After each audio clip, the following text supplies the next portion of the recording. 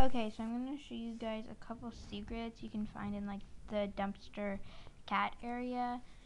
First, this is usually open, but if it's not, you have like all this cool stuff here, um, and cats and backpacks, which are really great for like school stuff. And then there's also like a picture here, so yeah. then if you go in this one, this one's usually not open.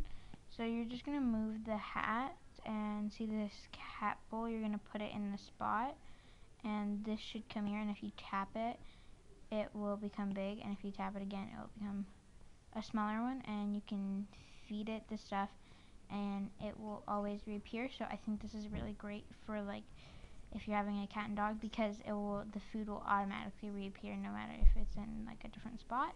See? So then there's also this, which has a whole bunch of clothes in it, which and most of the clothes are really cute and stuff. So yeah. And then